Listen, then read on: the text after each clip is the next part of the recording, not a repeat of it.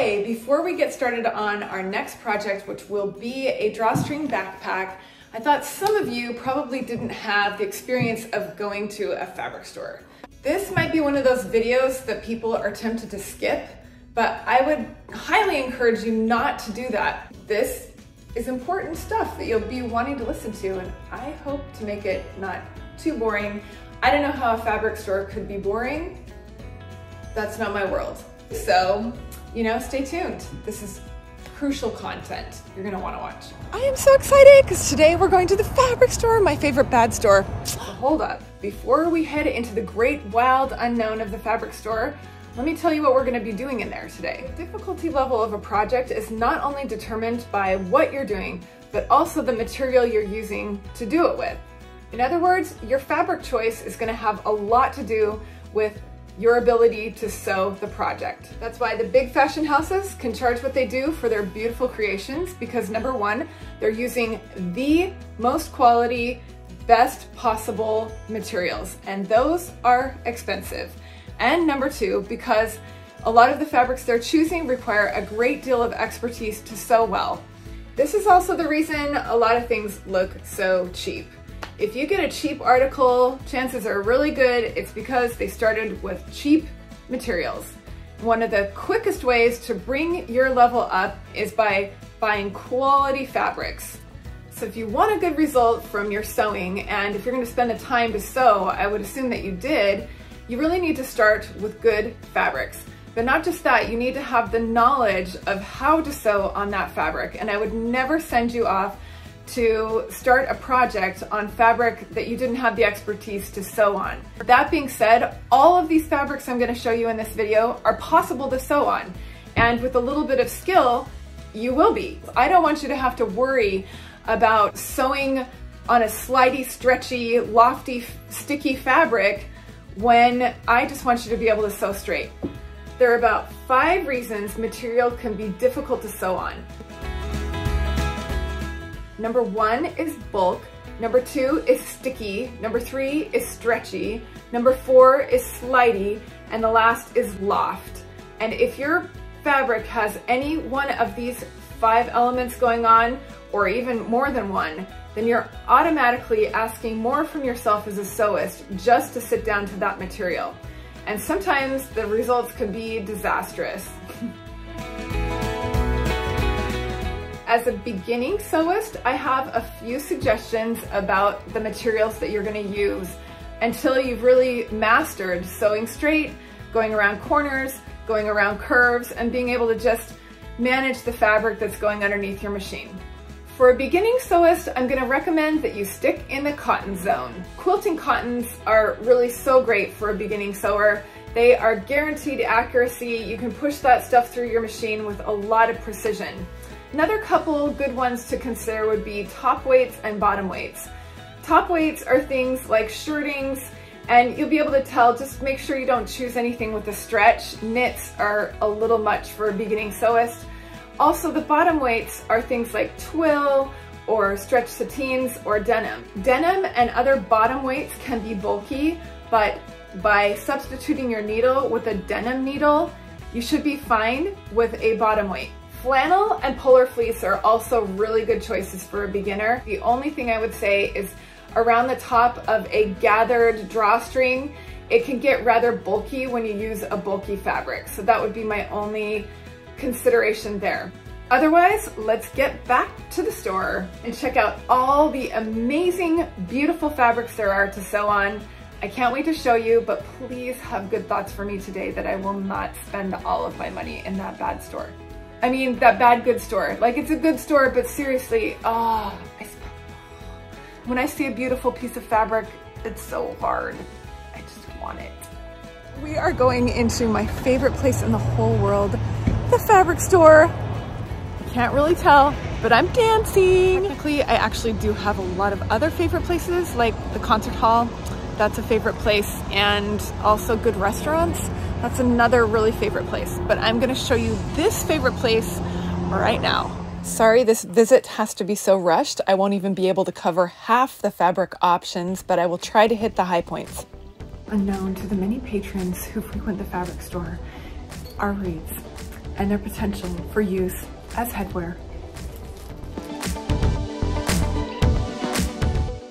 First, let's talk about all the great fabric options for a beginning sewist.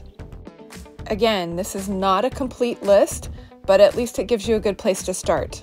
So these fabrics behind me are called top weights, and this fabric specifically is a shirting, and I mean, it's because you make a shirt out of it. I know, shocking. and that's why you know it's a top weight because it's something that we make our tops out of. Um, the hand of a shirting, so when we're talking about hand of a fabric, we're talking about its movement, its shape, the way it feels in your hand. The hand of a shirting is a little more solid, a little more structure than a quilting cotton, for instance. Um, it's good for projects like shirts. Anyway, this particular one, I think I may use in the next project because I want you guys to be sewing something that is not too difficult to put together, but has a little more substance to it, but I don't want it to be so thick and so difficult to get through that, you know, it really makes it a nightmare to sew. Now we've reached what I would refer to as bottom weights. And these fabrics are what you would sew bottoms out of. I know, it's really complex. So I think I might use this one for the next project. It's really perfect because it's a drawstring bag. If you use something that's really heavy duty um, for a drawstring bag, when you get around the casing, the drawstring won't pull because it's got too much bulk. But if you can find something that has a little bit of structure, um, that's really kind of perfect. Now we're coming to a fabric I love that I can't wait to tell you about is twill. Twill is a wonderful fabric. Chinos are made out of this. There's all kinds of things. It's a bottom weight, so it's a little heavier, and I love the buttery soft smoothness of this fabric. So it's a little more structured, a little heavier, so it's perfect for projects you're about to make, like a drawstring backpack, but it's not so bulky, it's like a denim. Though I don't think this is generally looked well upon, this particular fabric is 70% off and I do want to see how it drapes. So I'm gonna try it on.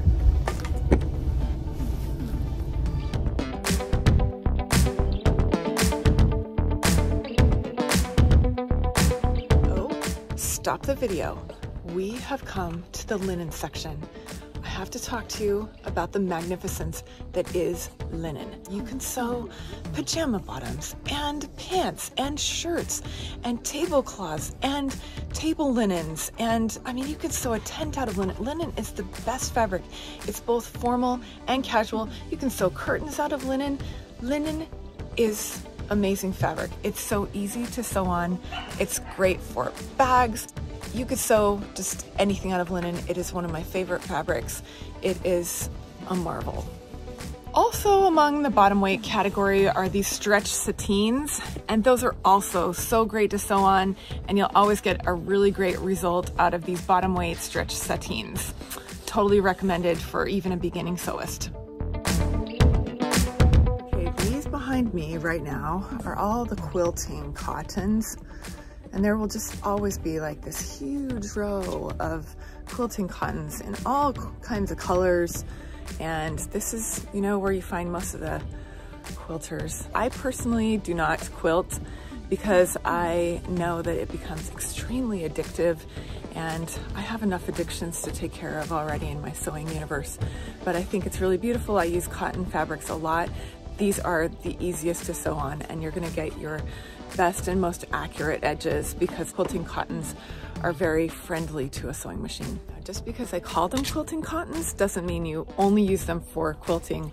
I use quilting cottons like constantly and um, they're really fantastic to sew on and you just need to make sure that it matches the project that you want. Sometimes um, if you want to give it a little structure or stability, you need to add an interfacing, but otherwise, you know, these are great.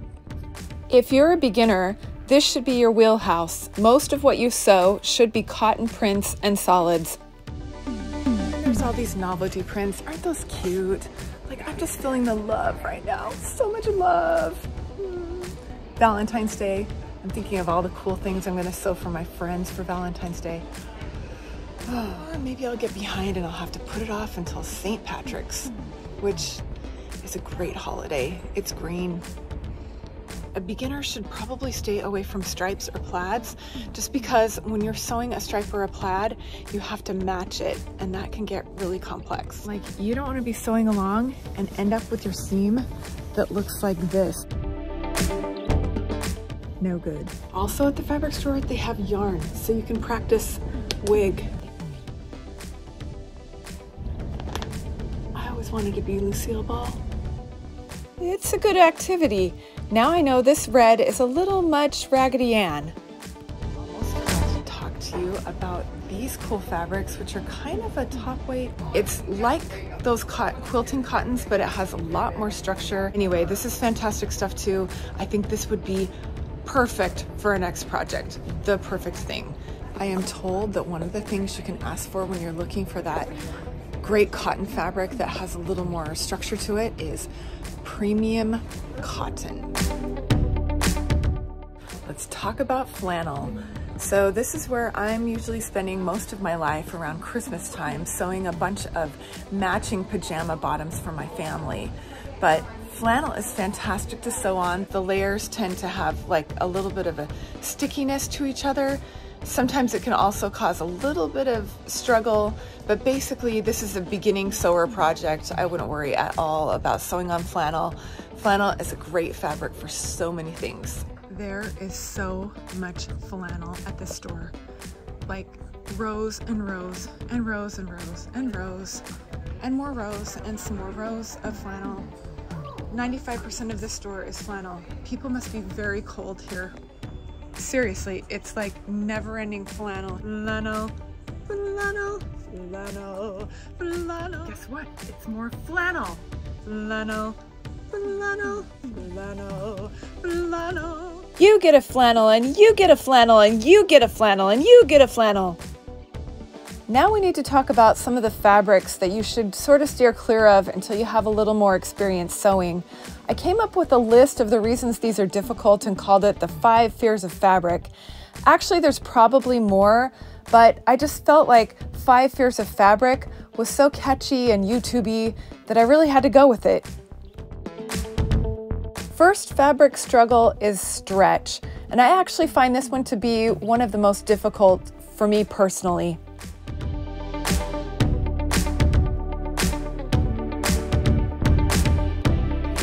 Coming to the knits. And knits are considered a top weight because you see a lot of tops that are made out of knit. Knit is like a t-shirt fabric. It's stretchy, it pulls. I don't know if I can show you a little bit. There you are. Um, it's a little different than a swimsuit lycra, which is really stretchy, and those are very challenging to sew on. I would think that a swimming suit would be a very advanced project, um, difficult to sew on. You do need to remember what you're sewing though, because like for instance, a knit might not be the first choice for a purse unless you want a stretchy kind of purse. not all knits are equal. This one that is super stretchy. Take a look. Like super, super stretchy.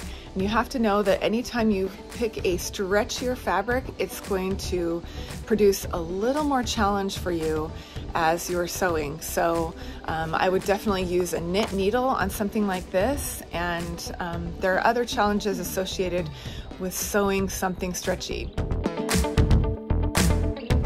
we probably need to talk about this kind of fabric. It's super popular right now. There's all kinds of colors and stuff.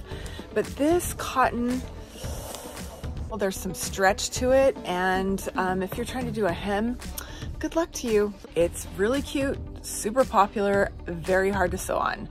I pity the person who's trying to do a rolled hem edge on this. Now we're going to talk about slippery fabrics, and I actually find these easier to manage than stretchy fabrics, except that some of them are stretchy and slippery. So I don't know what you want to say about that. Okay, now I am to all this pretty, you know, prom dress, formal sort of fabrics. There's tons of different options of these, but we need to talk about them one by one. An example of a satin. And satins are wonderful, some that have a little more structure and stability and others that are a lot more flowy. Um, satins are difficult to sew on for two reasons. Number one, because they are slippery and slidey. And number two, because you need a good needle to sew through this stuff. Otherwise it tends to snag or sometimes buckle and cause puckers in your sewing. The main thing to remember is that it's a very tight weave, so you need the right needle to sew through this stuff. Oh, this is so delicious. You know, um, I think it's probably a very expensive, I would say like 20 $25 a yard satin right here. Um, my experience is usually if you want something really high quality, you pay the bucks for it. you get a good fabric. Sometimes you can get them on sale. Oh my gosh, I wish you could feel this is so delicious if you're using those quality fabrics, it's automatically going to make your project so much nicer, nicer than anything you could buy. Because guess what? People who are in this business, they want to make money and they don't want to spend $25 a yard to make the little satin pillowcase that you want perfect on your bed. But you know what? I'm greedy. I do. I'm going to use my 50% off coupon and I'm going to buy some of this today. This particular store did not carry any real silk. Real silk is expensive and temperamental, but very luxurious, and we need to talk about it. Dupioni is probably the most easily sewable of all silk varieties. It is not slippery, but it frays terribly. You need to make sure that you finish off any raw edge on a silk for sure. It's also better to use a very sharp, fine needle. You'll recognize Dupioni because it has these little lines on it that you'll notice those are slubs and that is a characteristic of Dupioni silk.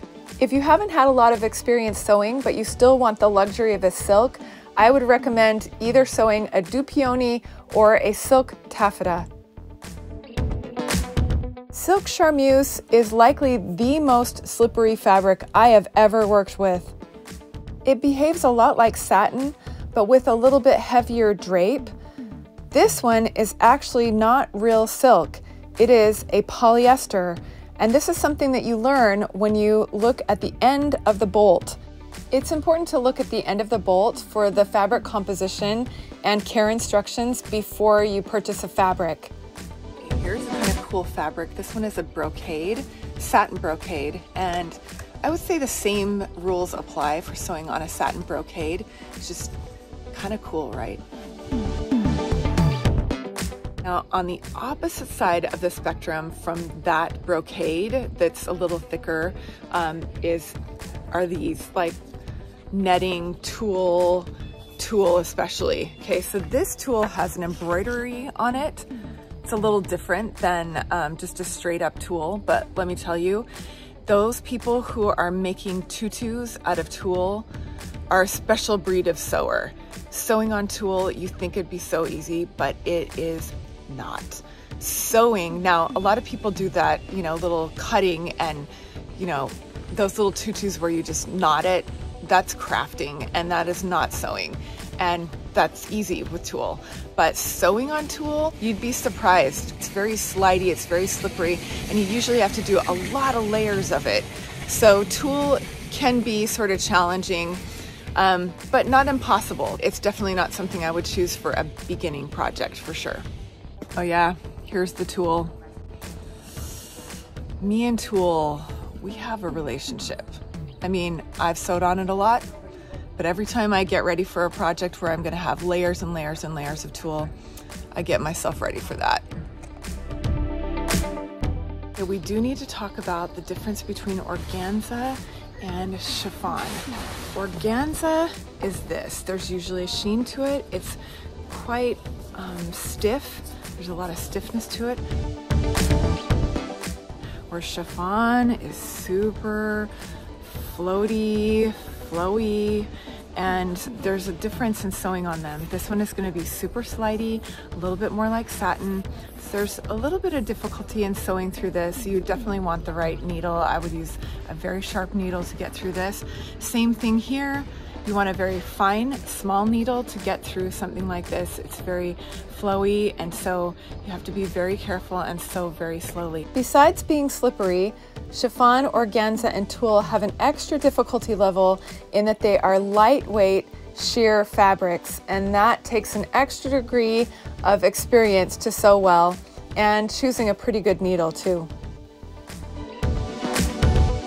Let's talk about lace. Now, lace you know, there's all sorts of different ones. This particular one will be very challenging to sew on, as you can tell, because look at how many holes. Can you imagine trying to sew and then all of a sudden there's nothing to sew on because it's just a big hole? Yeah, that's sewing on lace. Uh, some laces are more like the guipure. Is that how you say it? I think it's guipure or guipure. Guipure. Anyway, the really, really expensive, nice, beautiful laces, um, if they've got a lot of holes like that, just keep, keep that in mind. It can be a little challenging. Well, this one to me is a little more on the tulle side of the spectrum, but look at all the holes. That's gonna be a little tricky to sew on, not as tricky as the last one. It's a lace that's stretchy.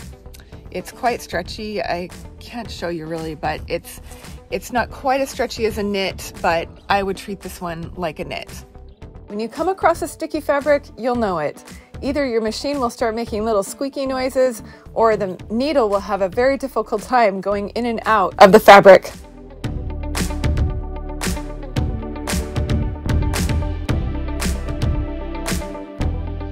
You can learn a lot about a fabric by reading the end of the bolt.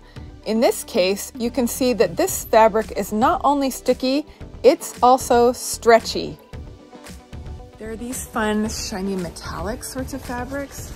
I've sewed on this before. One thing though, is sometimes they've got sort of a plasticky kind of characteristic to them. And so they're a little on the vinyl side of the spectrum. And we'll talk about vinyl in just a second. So fabrics like this, if they're a little bit sticky, you need to keep that in mind um, because sometimes it likes to stick to the presser foot as you're sewing and that causes a lot of problems. Yeah, I would definitely say that this is on the sticky side of the spectrum. It's really cool though. I'm like imagining all sorts of really fun projects out of this thing. I might buy some. This is how I get in trouble at my bad store. You'll find the vinyl on bolts located near the home decorating and upholstery fabrics. Each of these bolts are 54 inches wide of fabric. And while we're talking about the width of fabric, let's take a look at the other types of fabric bolts. Look at all the different heights of these fabrics. That is because each of those fabrics are different widths. The most common widths of fabric are 45 inches wide, 54 inches wide and 60 inches wide. And it's really important to know how wide your fabric is when you're making calculations or deciding how much fabric you're gonna need. About vinyl. Vinyl is the coolest stuff and you can do so many great little projects out of this clear vinyl stuff, but vinyl. So there's some that's, you know, really thin and then there's some that's a lot more heavy duty and thick. Obviously, the more heavy duty it is, the harder it is to sew on. And the smaller and, you know, less structure, the thinner it is, the easier it is to sew on. The thing about vinyl is it is very sticky and you have to have a little bit of a trick to be able to sew on it.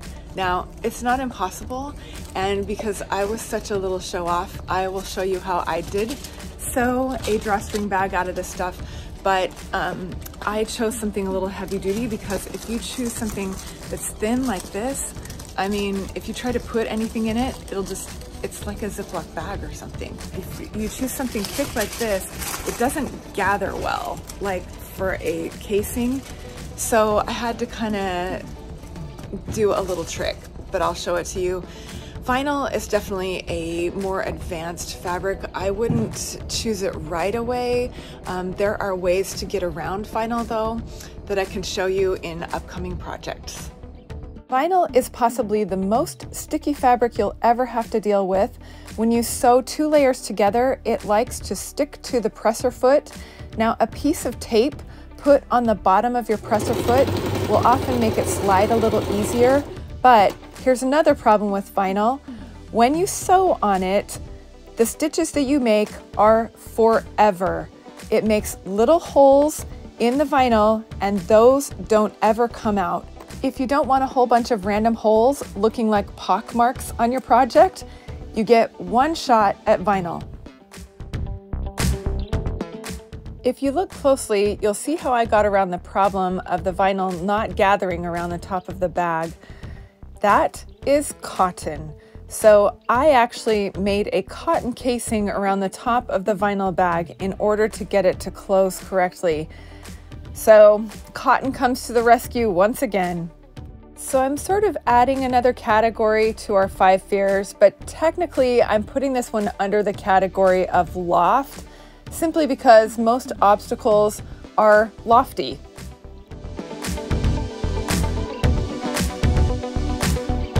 Also, here are metal bees at the fabric store. This is not fabric. You can't sew on these.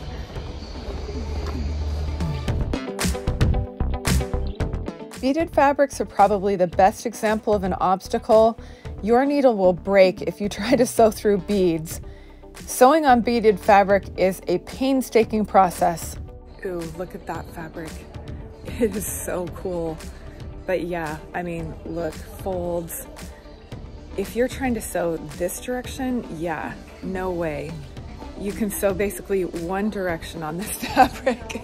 Ah, oh, that's so beautiful though. And a fabric like this, also, like you gotta make sure that you're sewing correctly on the folds. That would be kind of tricky. My best guess you would have to pin those folds as you sewed. Sequins are also big obstacles and they can be really sticky for your needle if you try to sew through them. Really the best way to handle sequins is to undo them, remove them from the seam line, and then secure them and sew along the seam line along the edge where you secured them. It's a painstaking process, which is why you'll notice that on many cheap garments, they just sew right through those sequins. It looks terrible, but doing it right is just not worth it for them. Anytime you add sequins to anything, you are upping the difficulty level quite a bit. Now, if you could sew along this edge the entire time, that would be one thing, but usually patterns aren't that way. So you'll be sewing through layers. Now there are hacks and tricks to sewing through something like this. So it's not impossible. It's just something to keep in mind. Um, I would definitely not choose this for one of your beginning projects. Now this sequin is a little different because it's not all those little plasticky things that are layered one on top of another. This is much more sewable. Um, sequin and I would say that if you wanted something sequin to look for something like this you'll have a better result. See here's another one that's really kind of cool but would not be that difficult to sew on. I like that. Look at this fabric. It is so gorgeous. I this is where I get in trouble because I see these fabrics and I think don't know what I want to sew with this, but I just want the fabric because someday I'm gonna make something incredible out of it. It's when you can find a fabric like this and think, this belongs at my house. You've likely not heard of lofty fabric before, but think of it as the big hair of the fabric world.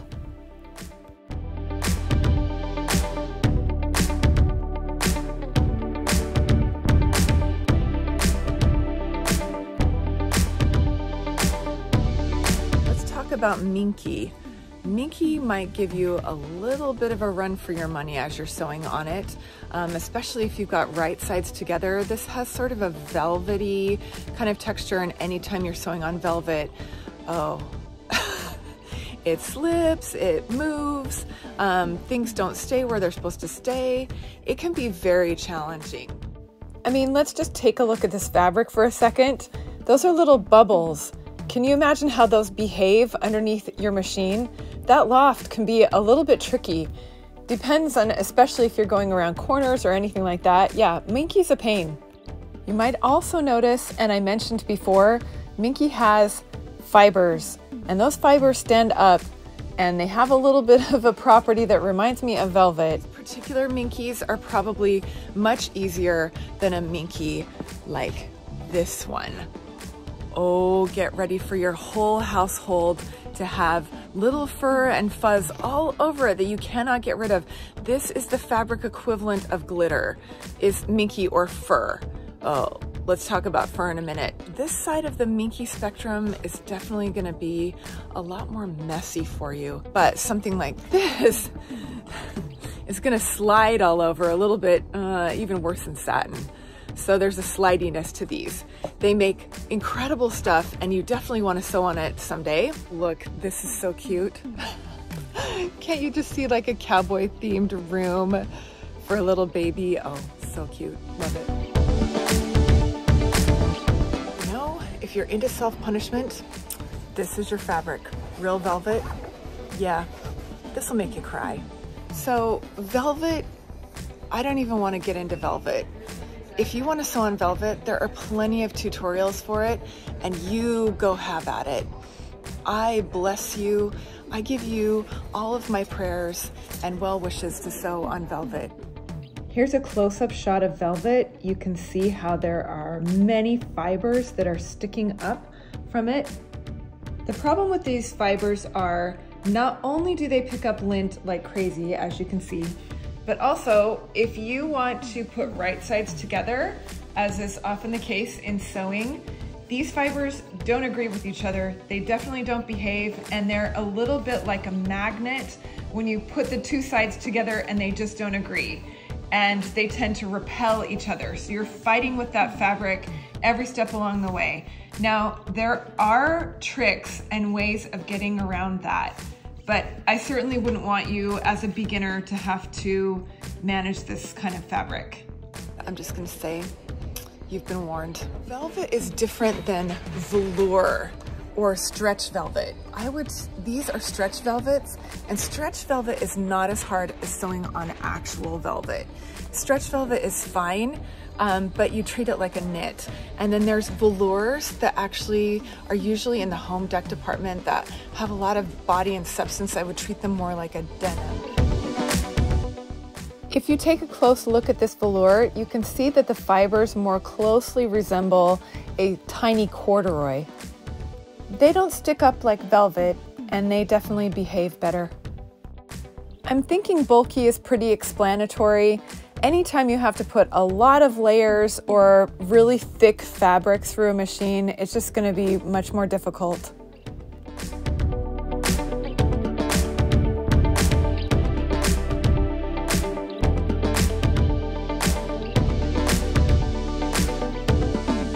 Okay, let's talk about these furs.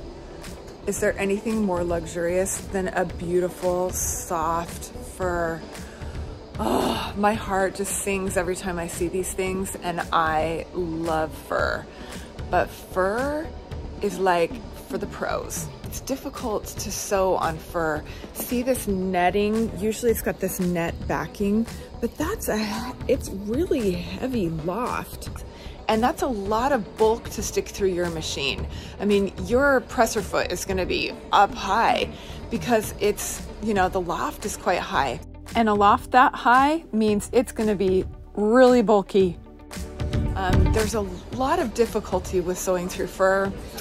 I would not pick this for a first project. No, not at all. I would say that would be a more expert thing to do. And I would definitely not use it for a backpack because if you're gonna do that, there's no way that the drawstring can really um, close properly in a casing with something like this just because it won't bunch up very well. There is actually a way to do it and because I'm such a show off, I'm gonna show you a drawstring backpack and how it's possible with the fur. See that? It's our old pal, the cotton print to the rescue again. I sewed a lining with a casing to the front of the fur backpack and that's how you get such a really fun result and the top still closes. There's a luxe bag for you. Now, not all furs are equal. This particular fur is more like a minky and it's quite thin. And the only problem with sewing on a something like this would be it would slip and slide a bit and the fur tends to get caught in your needle or it can. Not as difficult as something, especially something like that. That's a lot to put through your machine. I'm gonna have to have some of this. Another thing that might keep you away from this fur though is the price tag. These are regularly, you know, 40, $50 a yard and up.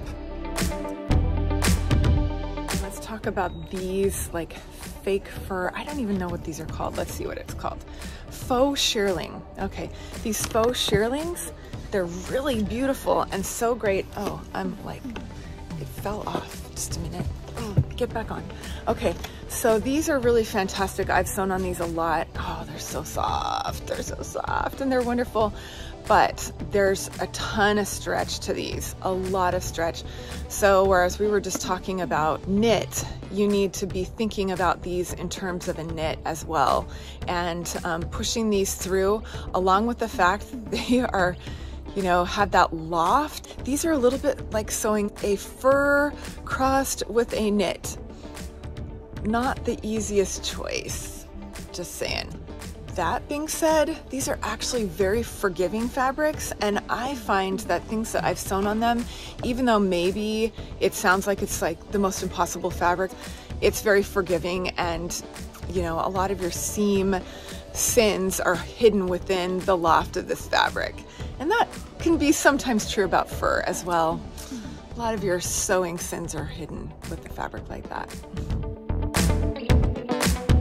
Now we're coming to another option that you could use for blankets that is great for beginning sewers. And this is polar fleece. And polar fleece is the most awesome stuff and it has revolutionized sewing for the beginning sewist. Part of the reason it is self-sealing. That means it won't fray. That doesn't mean you won't want to finish your raw edges just for looks, but you don't really have to because it's not going to fray. So you never have to finish off those raw edges. You don't even need a serger. I mean, I think most professionals will use a serger when they're finishing off raw edges. That's number one. And number two, it's just an absolute dream to sew on. It's really not that slippery. It doesn't, you know, tack to itself like a velvet. It's just fantastic stuff. I would think that any beginning sewer could sew on polar fleece. And if you want a better result, they've actually got a higher end called the Luxe um, polar fleece, and you'll be able to tell a difference. Let me see if I can find it for you. Okay, here we are at the Luxe polar fleeces, and this stuff, oh, it's just so buttery smooth and soft. This is really great polar fleece and you will definitely tell a difference in your end project if you're picking the good stuff. I don't know if you can see it on camera, but just, oh, it's great, great stuff and not that hard to sew on. Polar fleece is a bulky fabric, especially when compared to a quilting cotton, but it's bulky in a way that's not so bulky. It has an airy quality to it and it's not overly stretchy, so it's a pleasure to sew.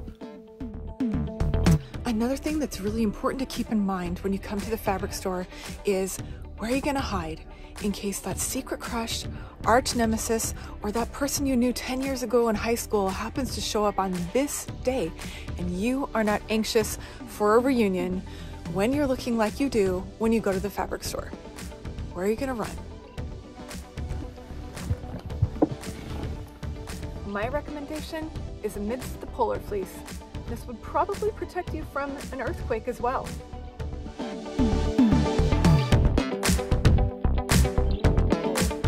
Make sure you're checking the back of these fabrics.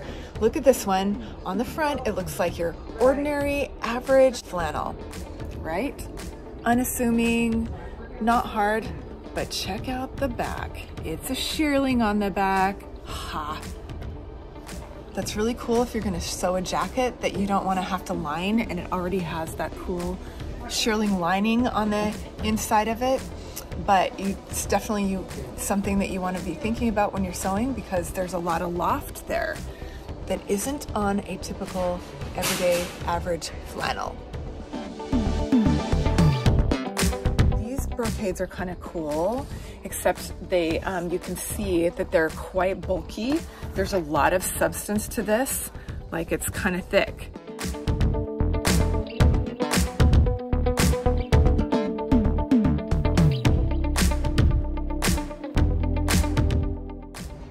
While I'm here, let's just go take a look at all of the cool home dec options there are. So all of these home dec fabrics are different and they have different requirements. I would be very careful. For a beginning sewist, I would stay away from this section for the most part. I mean, these vinyls are really cool. These I would mainly used for upholstery projects. They even have cork. Let's see if I can find this cork stuff. Maybe they've sold out of it. I don't know. But look, there's even like people sew on grass, like turf. you can sew on that stuff. I would use an industrial machine. Really, you know, like it's a lot to sew on something like that. Ah, here it is. Cork. And this is amazing stuff. I can't wait to, I have been wanting to buy this and sew something out of it for the longest time. It's because I'm working on these videos that I can't work on a cool project out of cork. I don't think this would be terribly difficult to sew on, honestly. I think you could do this. I think this would be okay. I would probably use a denim needle or something with a little more stability if I were sewing on something this thick, though, for sure. And there might be a little stickiness to it, so don't take my word on it. I have not yet sewn on it, so I can't tell you the difficulties of that, but I think it's cool. Ah, and then there's this stuff. This is oilcloth. Oilcloth is the coolest stuff because it's got a coating on the top of it, so it's sort of waterproof.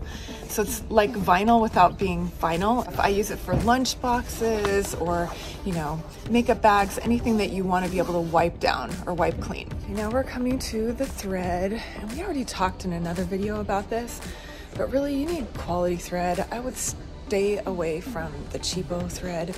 Just go with Coats and Clark or Gutermann on this other side. Gutermann's a great brand and I love sewing with Gutermann thread. Just saying, it's awesome. Here we are, And then there's tons of zippers, which you will have to do. It's not very far ahead, but yeah, this is not a beginning, beginning thing.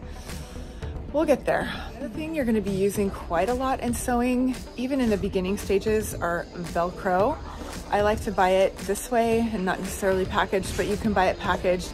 You definitely want the sew-in type, and then also this elastic, which you're gonna be using a ton. A lot of these things are gonna come either in packages, as packaged varieties, or as by the yard. Um, and what I mean by that is like, take a look at this cording. This is not in a package. You have to go up to the cut counter and get this cording by the yard. This is cording. This is what you're gonna want for your next project. And also, by the way, this cording is small and this is about what you'd want for a drawstring backpack. Let me show you some cording that is horrible for the next project. You do not want cording like this one right here. Check that out. Yeah, that is not for a drawstring bag. This is just way too huge for that. So you don't want that, but this is by the yard.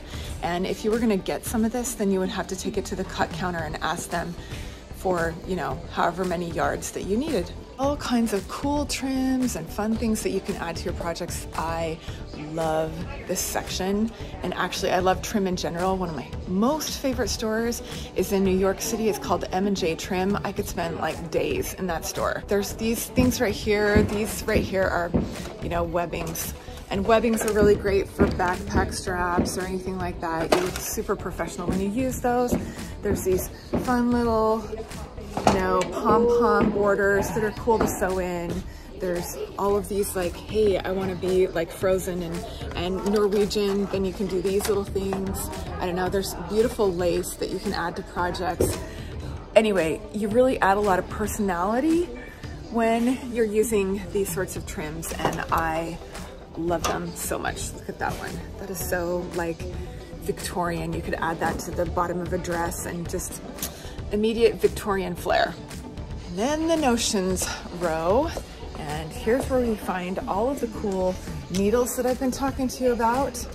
And there are so many different shapes, sizes for every sort of project you can imagine.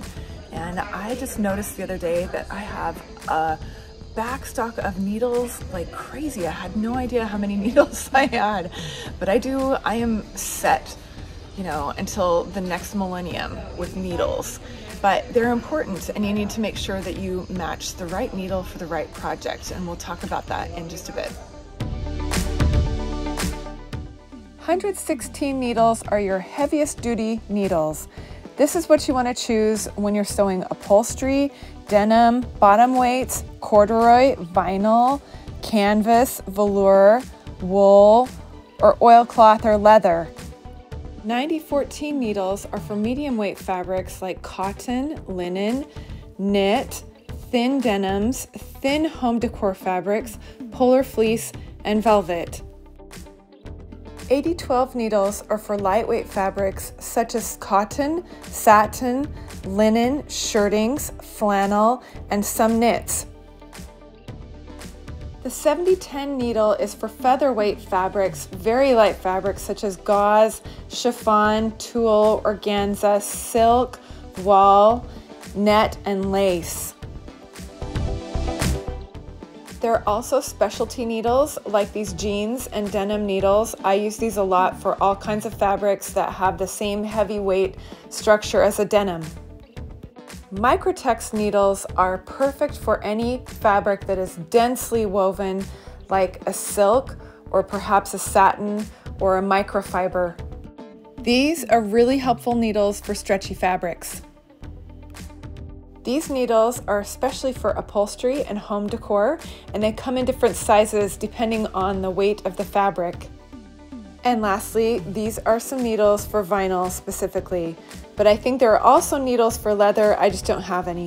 When you finally decided all of the things that you need and your cart is full of all of your fabric that you want and notions and all of that stuff, and it's probably full of a lot of other stuff you don't need, like mine always is, then it's time to head to the cut counter. Don't get in a big long line only to get up to the cut counter realizing that you have to go all the way to the back because you didn't take a number. Yeah, it might have been a bad idea to come here. Oh, 70% off though. Look at these fabrics. I love that fur. So every once in a while, as I'm passing these big bushes of florally flowers, I think, what would it be like to hide in those? and I've never tried it, but here I am. And then I realize, oh, there's buckets under there. It would be quite impossible to do. And there goes every little girl dream I ever had destroyed. I guess it's back to the polar fleece with me. I wonder how long I can hide out in here before I have to go home and fess up to all of the fabric I just bought. Well, here I am. I barely made it out of there alive. I mean, earthquakes and all. I hope you enjoyed that trip as much as I did.